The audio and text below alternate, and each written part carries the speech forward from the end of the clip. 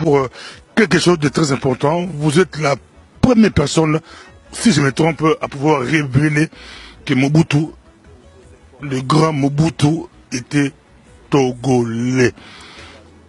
Comment est-il arrivé que Mobutu togolais? Mais Mobutu, euh, disons au niveau de ses parents, était togolais. Mais au niveau de sa nationalité et de son ethnicité, il est devenu congolais, zaïrois et mbandi. Voici très rapidement résumé l'histoire du président Mobutu. D'abord, j'aimerais préciser ceci. La mémoire du président Mobutu peut supporter la vérité. Sa mémoire peut supporter la vérité maintenant. Parce que pour moi, Mobutu fut un prophète, qui a peut-être mal terminé sa carrière, mais ce fut un prophète. Le père de Mobutu est un Togolais, un cheminot togolais, du nom de Aodikpe.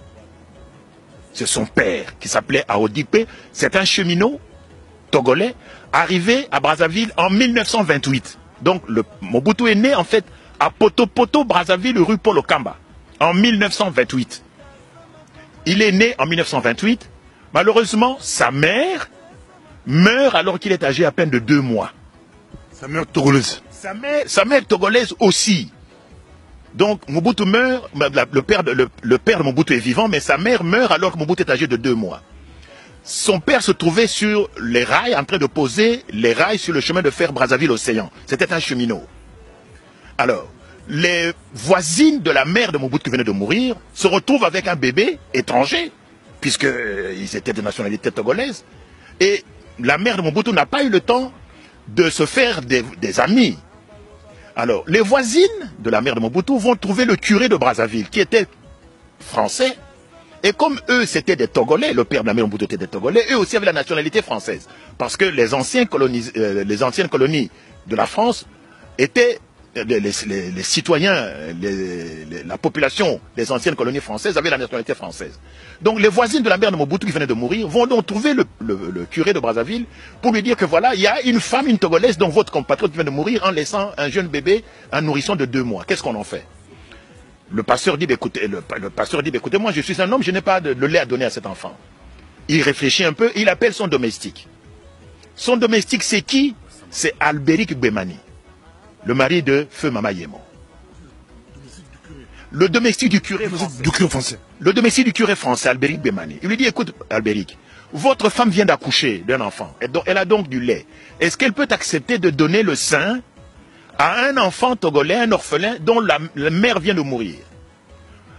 Albéric Bemani dit ceci à son patron au curé. Il dit, chez nous, les Ngbandi, quand un enfant perd sa mère en bas âge, cet enfant, on ne l'adopte pas, cet enfant est un enfant maudit.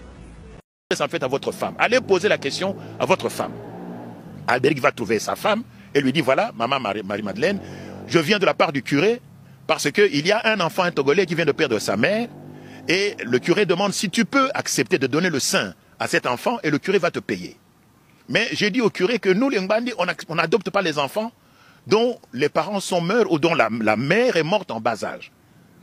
Mama me répond à son mari, Albéric, que elle a toujours cherché à être appelée Maman Mapassa, qui est un titre très honorifique pour les, les mamans chez nous, les, les mères doubles. Vous n'avez jamais été capable de me donner des jumeaux. Pour moi, c'est l'occasion ou jamais qu'on m'appelle Maman Mapassa. Amenez-moi cet enfant. Comme ça, on va m'appeler Maman Mapassa. Albéric dit à, son, à sa femme, écoutez, nous les Mbandi, quand un enfant perd sa mère en bas âge, Maman me dit non, je ne veux rien savoir, amenez-moi cet enfant. Mais là, le, on peut revenir là, le papa de Mobutu est où C'est lui qui dit au curé. Nous sommes le même jour de la mort. Et puis, je reviens encore, c'est vos sources, c'est aussi très important. On continue les sources. Parce que euh, ça bouleverse, ça bouleverse, ça bouleverse les données Mobutu togolais, 100% togolais. Je, vais, je vais citer mes sources, mais ce, ce que je vous raconte ici, c'est le jour même de la mort de la mère de Mobutu. C'est le jour même de la mort. Et le père ne sait même pas que sa femme est morte. Voyez-vous, c'est le jour même de la mort de sa femme. Le, mari, Aoudikpe, se trouve en train de poser les rails sur le chemin de fer Brazzaville-Océan. Sa femme meurt en son absence. Donc, nous sommes le jour même de la, mort de la mère de, de, de, de, de, Mobutu. Et l'enfant est en train de pleurer parce que sa mère ne peut plus donner le sein. Donc, Mamayemo accepte de prendre l'enfant. On amène l'enfant chez Mamayemo. qui lui donne le sein. Et donc, Mama Yemo adopte le petit Mobutu. Quelque temps plus tard, le père apprend que sa femme est morte. Elle, revient, il revient à Brazzaville, voir la femme, donc il vient à la maison de Mama Yemo, avec Maman Olabérique, voir son enfant, qui a été adopté par une femme, une maman, qui lui donne le sein. Et régulièrement, à chaque week-end, le, père naturel de Mobutu, donc à, vient voir l'enfant chez Mama Yemo et son mari Albéric. Mais Mama, Albéric ne, supporte pas de voir un enfant étranger disputer le sein de sa femme avec son enfant. Parce que je vous l'ai dit, Mama Yemo avait déjà un enfant. À partir de ce moment-là, on commence à appeler Mama Yemo Mama Mapasa. Un peu, un peu en rigolant, évidemment, par ses copines. Parce que c'est sa propre copine qui me raconte cette histoire, qui habitait sur rue Lac Moero, dans la commune de Lingwala. Sa propre copine. Elle avait un enfant, je ne veux pas donner son nom, elle avait un enfant qui s'appelait Ferdinand qui travaillait à la BCZ. C'est cette femme qui habitait sur Lac Moero, dans la zone de Lingwala, qui était la copine intime de Mama Yemo, qui me raconte l'histoire. Quand? Mobutu vivant. Mobutu vivant? Mobutu était vivant. Elle me raconte, Mobutu, non, cette histoire, je l'ai apprise en 1991 à Bruxelles. En 1991. Mobutu vivant. Mobutu, était encore vivant, oui, puisque Mobutu est mort le 7 septembre 1997. Euh, Mobutu était encore vivant. Mais j'ai gardé cette histoire pour moi. Donc, euh, le mari de Mama Yemo, donc papa Gwemani Albéric, ne s'entend plus avec sa femme à cause de la présence de cet enfant. Il se fait que quelques mois après l'adoption de Mobutu par Mama Yemo, une épidémie de variole éclate à Brazzaville et décime les enfants. Plusieurs enfants sont atteints de, variole et meurent.